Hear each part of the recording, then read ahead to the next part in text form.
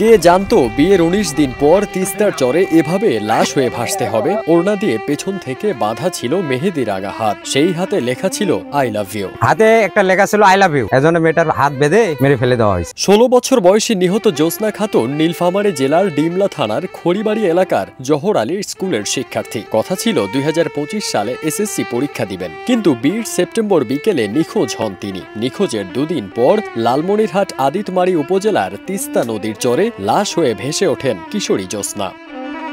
আড়াইশোটিরও বেশি design option নিয়ে Walton smart fridge বোঝে আপনার প্রয়োজন।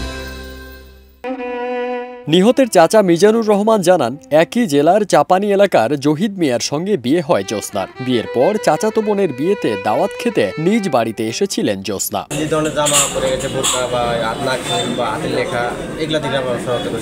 জ্যোৎস্নার ভেসে আসা লাশ দেখে স্থানীয়রা পুলিশকে জানালে আদিতমারি থানা পুলিশ মরদেহ উদ্ধার করে লালমনিরহাট সদর হাসপাতালের মর্গে পাঠায়। বাইশ সেপ্টেম্বর সন্ধ্যায় মেহেদিরাঙা হাত দেখে নিহত তরুণীর পরিচয় শনাক্ত করে তার পরিবার। পুলিশ জানায় পেছন থেকে বাধা ছিল জ্যোৎস্নার হাত মুখ ছিল ঝলসানো আর মেহেদিরাঙা হাতে তার লেখা ছিল আই লাভ ইউ তার ওড়না দিয়ে হাত দুটো পিছনে বাঁধা ছিল এবং হাতে মেহেদি করা ছিল মেহেদিতে কিছু একটা লেখা আছে। আদিতমারি থানার অফিসার ইনচার্জ মাহমুদুর নবী বলেন মরদেহ হিমঘরে রাখা হয়েছে। নিহতের চাচা লালমনিরহাটে এসেছেন। ময়না তদন্ত শেষে তার কাছে লাশ হস্তান্তর করা হবে। এ ঘটনায় আদিতমারি থানায় একটি মামলা হয়েছে।